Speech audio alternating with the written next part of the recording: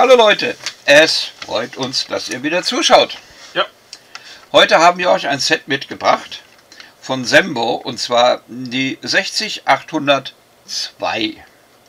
742 Teile, Inhalt 6 Figuren, kostet 29,95 bei Lubrix.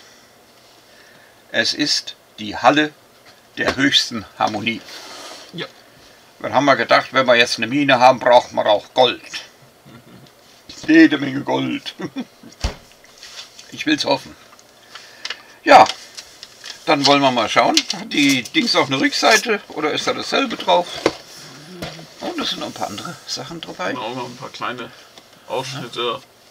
Es sind viele kleine Teile, Ja, das, aus denen Dings besteht. das ist schon ein bisschen eine Es edle ist Verpackung. aus der äh, Serie vom Museum, bei denen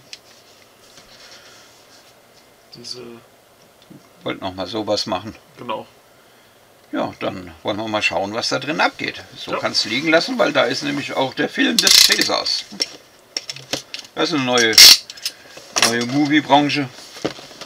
Cäsar-Film. Ja. Naja. Da ist wieder das berühmte Loch zum Reinkieksen. Ah, jetzt darfst du es rumdrehen. Jetzt haben wir das ganze Zeug um den Boden liegen. Ah. So, wie üblich, eine viel zu große Packung. Jetzt mache ich es einfach mal.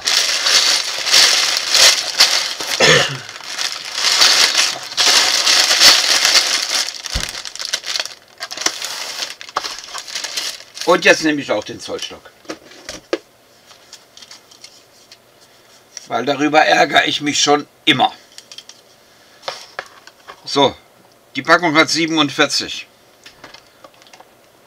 Auf 23 hätte es gereicht. Ich weiß nicht, was die hier für äh, seltsame Verpackungssachen haben. Wenn ich sowas aus China kommen lasse, dann nimmt mir das den doppelten Platz weg. Ich kann also nur die Hälfte in den Container reinpacken. Ist ja irgendwo ein bisschen widersinnig.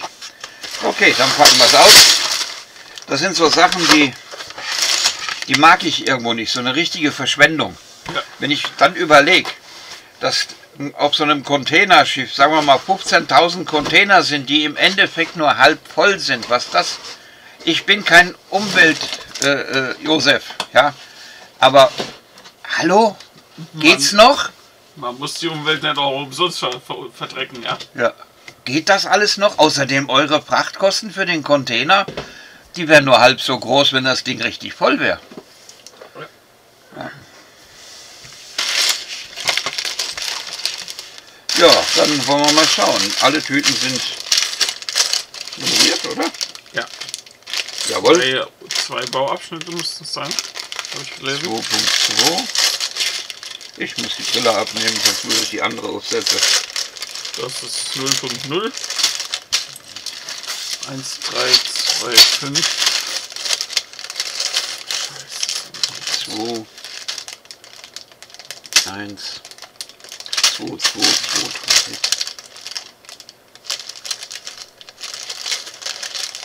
3. Ja, das ist ja mal schlau.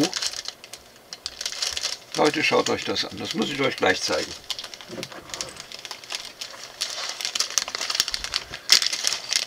Hier sind die Figuren drin.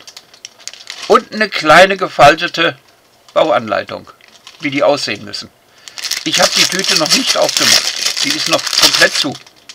Ich finde sowas klasse. Mal was ganz Neues. Hat bestimmt auch noch keiner gesehen von euch. Also ich noch nicht.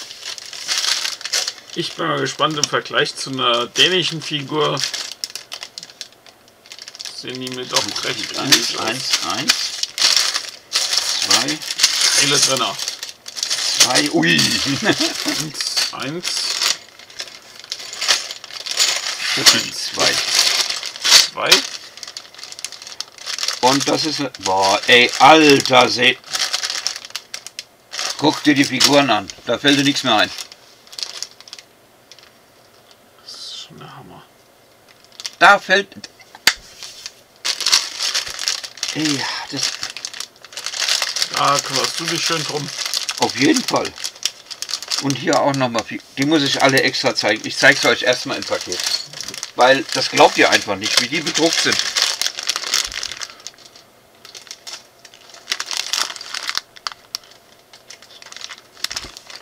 Und die andere Tüte brauche ich auch noch mal. Weil das muss ich in der Tüte zeigen. Das glaubt mir sonst keiner. Schaut euch die Bedruckung an. Das ist der Hammer.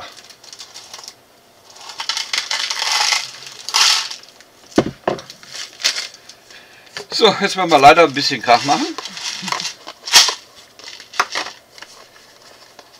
Sehen toll aus, die Steine. Hier hast du die große Platte. Ich werde dann später, ja gut, das Gold ist bei das mir. Gold. Boah, ey, alter Schwede. Sehr schön, sehr glänzend. Super. Ähm, gib mir mal die Schüssel, dann kann ich auch Wie viel brauchst du? auspacken. 2, 4, ne? Ja, 5. Hast du da auch welche? dann kannst du Ich wollte erst den Krach hinter uns bringen.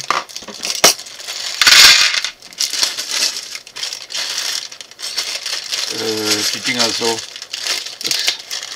Ich weiß schon nicht, wie die aufmacht. ja, dieses, Teile drinner. dieses Pastelltürkis hier, klasse. Wunderschöne Farbe. Äh, Keine Kratzer an dem. äh, ja, das war hier von dir.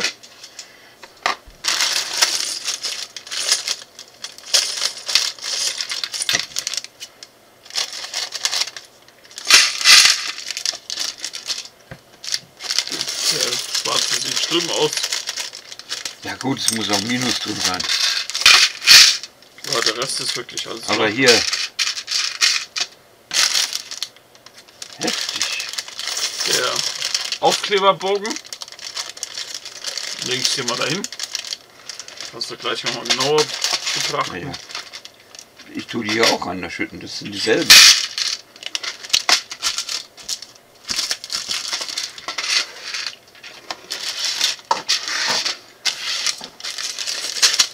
Das ist blöd.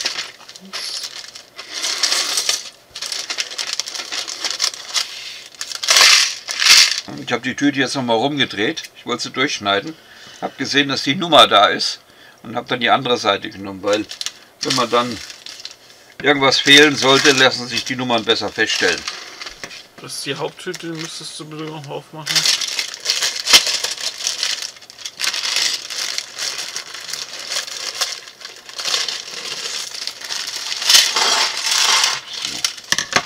Da ist keine Nummer drauf. Dachelemente.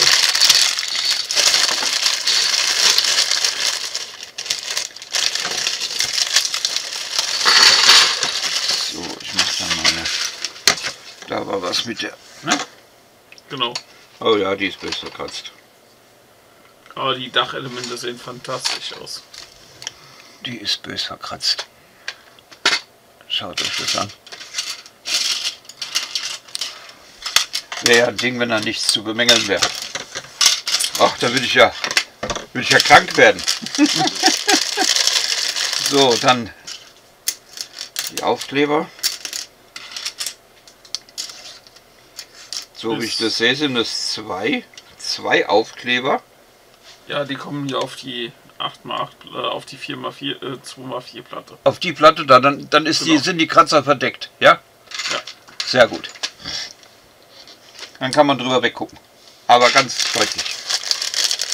So, dann die Bauanleitung. Oh ja. Die sieht gut aus. Die sieht sehr gut aus. Müssen wir gucken, wo wir es trennen können. Fang du erstmal an da, ja? Mach erstmal alles frisch da hinten bei dir. Ich tu gleich mal unterbrechen. dass wenn wir dann eventuell einen Schnelldurchlauf machen müssen. So, Tom-Jedis-Figuren.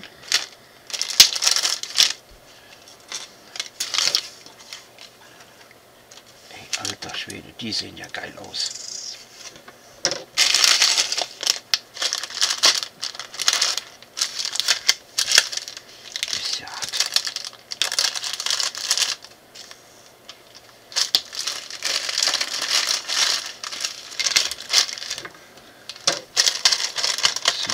Ist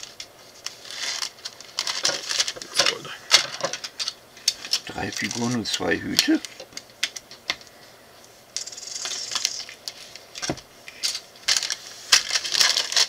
Ja, schau, vielleicht haben sie hier noch einen reingepackt.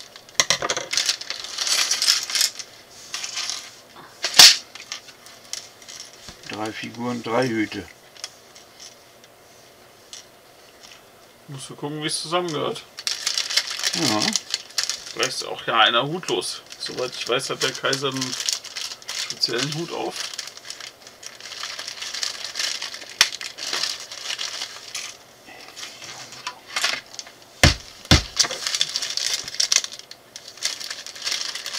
Kamera wackelt, denk dran. Ja. So, der übliche Spruch. Gelbe Tonne, gelbe Sack und nicht in den Wald.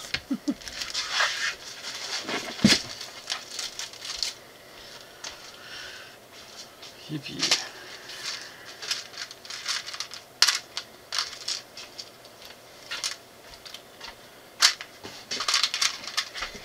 Ja, ist dann mit dem gelben Sack ist das schon alles ein bisschen widersinnig, ne? Was da jetzt zurzeit rauskommt. Wir trennen wie die Bekloppten, zahlen Schweine Geld dafür und dann wird es ins Ausland geschickt, containerweise und da verbrannt. Ja, das ist. Hier, tut mir leid, aber. Hier läuft einiges schief. Hauptsache die Kohle stimmt. Genau.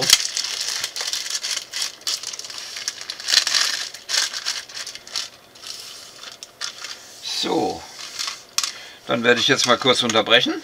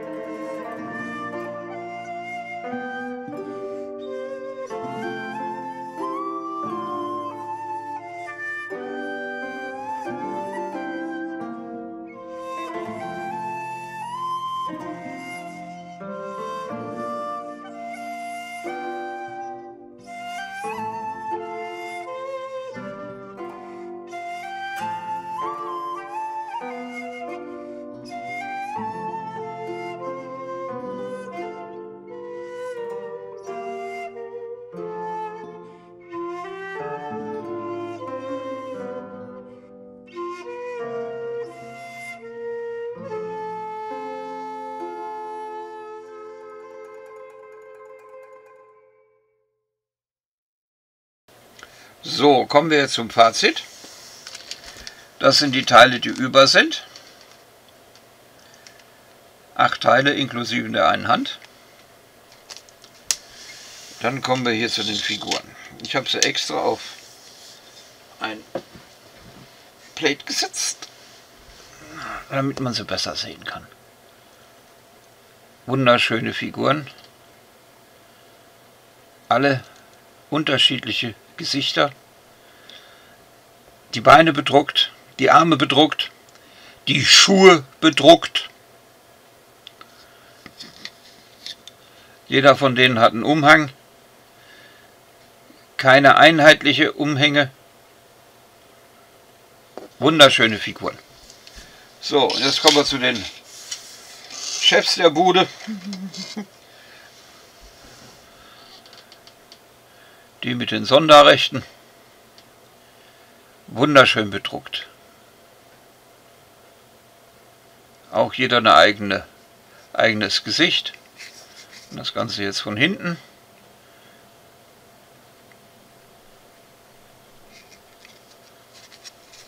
Herrliche Figuren, gold bedruckt und naja, von hinten bedruckt, von vorne bedruckt. Mich wundert nur, dass sie nicht von unten bedruckt sind. so kann man es auch machen. Und wenn man bedenkt, was das Set kostet, 29,95 von Sembo. Ja, dann der lustige Teiletrenner. Und ja, dann wollen wir doch mal schauen, wie die Bauerei war. Die Aufkleber, alle beide, fantastisch. Im Transferverfahren, das heißt also, ihr zieht das von der Trägerfolie ab, klebt es drauf, dann rubbelt es bitte mit einem Tuch oder mit, dem, mit der glatten Seite von, der, von dem Kleber-Etikett äh, richtig schön fest und dann zieht er das Plastik ab. Und dann sieht es so wunderschön aus wie hier. So, ich denke, meine Klemmkraft hat euch noch ein bisschen was zu erzählen. Ja. Über das ganze Zeug hier. Genau, Klemm Dann hau mal ran. Klemmkraft ist auf jeden Fall sehr gut bei dem Gebäude. Ja, die war gut. Er hat es fertig gekriegt. so. Augenblick, da ist ein Fussel. Das ist ein Fussel. Wahrscheinlich von meinem. Mhm. Ich habe wieder gefuselt. So schönes Gebäude. Die meisten Teile sind, näher ran. Die meisten Teile sind einmal 1 Stats. Weißt du was? Ich halt's. Du, ja. du erzählst. So. Der Eingang unten äh, wird einfach nur freigelassen. Man kann leider nichts drin erkennen. Weil nichts drin ist. Weil nichts drin ist, hat an den Säulen schöne Goldverzierungen. Was ist hier los heute? Jetzt klappt's. Genau, das Dach ist schön zu sehen. Äh, Seidenmattgelb, ohne jegliche Kratzer oder sonst irgendwas. Wirklich makellos. Obendrauf die Fliesen haben kleine, Mikro, kleine Mikrokratzer, aber sind auch wunderbar. Die Steine sind fantastisch. Ähm, dann würde am Ende, der letzte Bauschritt ist der ganze Mist und außen drum Fliesen. Warum Mist? Weil man es eigentlich am Anfang hätte machen müssen. Weil sonst musste man überall innen reingreifen. Lässt sich nicht gut machen. Als erstes Fliesen und dann geht's besser. So, jetzt geht's besser. Wir müssen mit der Beleuchtung unbedingt was machen. Ja. Ich würde wirklich anfangen, als ersten Schritt die ganzen Fliesen nehmen, drauf machen nachdem die Grundplatten hier auf die Baseplate gesetzt worden sind. Und dann hat man mehr Freude dran. So kann man es besser sehen. Ist teilweise sehr schwierig, die äh, Dachkonstruktion zusammenzudrücken, weil da wirklich extreme Klemmkraft dahinter steckt. Ich habe das obere Dach gebaut hier und ich hatte da keinerlei Probleme. Wunderschön. Ja, sehr toll gemacht. Schönes kleines Gebäude. Gut, bei den Fliesen hätte man sehr, sehr viele Teile sparen können, wenn man größere Teile genommen hätte. Es sind 162 Fliesen alleine am Boden verbaut. Ja. Müssen wir ein bisschen anders zusammenstellen. So, dass man das alles sehen kann. Es sind halt schön viele kleine Einzelteile. Auch die Anleitung ist sehr detailliert und einfach gemacht. Ja, man sieht halt immer. Alle Schritte bleiben hell, alles rot umrandet, was neu dazu kommt. Wirklich detailliert. kann, glaube ich, jeder klemmen. Ja, dann würde ich sagen, von mir aus eine hundertprozentige Kaufempfehlung für 30 Euro, also 29,95. Wir verlinken euch das nach Ja. Bluebricks. Und bei uns wird es wahrscheinlich vorläufig nicht verkauft werden, weil die Figuren, ich weiß nicht, was mit denen los ist. Ich meine nur, dass es eben halt Bluebricks verkauft, heißt noch lange nicht, dass wir es auch verkaufen dürfen. Auch wenn wir bei denen als Händler gemeldet sind. Ich bin da ein bisschen vorsichtig. Aber ansonsten von mir eine hundertprozentige Kaufempfehlung. Ja, die Figuren muss man unbedingt in seiner Sammlung haben. Das Weil- sind wirklich die besten Figuren, die ich bisher gesehen habe, was die Drucke angeht. Also da können sich andere ein Riesenbeispiel nehmen. Und wenn ich bedenke, dass man so eine Figur vielleicht für 3 Euro auf dem Markt bekommt, ja, 3 mal 6 gibt 18 und das zieht jetzt mal von dem Preis ab. Dann wisst ihr Bescheid. Ja. Ja, Leute, wenn euch das Video gefallen hat, dann Daumen hoch, abonniert uns. Dann seid ihr immer auf dem neuesten Stand. Ihr werdet benachrichtigt, wenn ihr die Glocke drückt. Und wenn ihr irgendwelche Vorschläge habt oder irgendwelche Anmerkungen, Anregungen, hat schon jemand das Gebäude gebaut? Hat jemand schon Erfahrungen mit den Figuren gemacht? Ist er immer noch davor und am Staunen? Schreibt es uns in die Kommentare. Wir würden uns wahnsinnig freuen. Ja, dann würde ich mal sagen, das war's für heute. Und wir verabschieden uns mit baut auch so schöne Sachen. Und nicht vergessen, die müssen nicht teurer, teuer sein. Und sag euch, bis zum nächsten Video. Tschüss. Tschüss.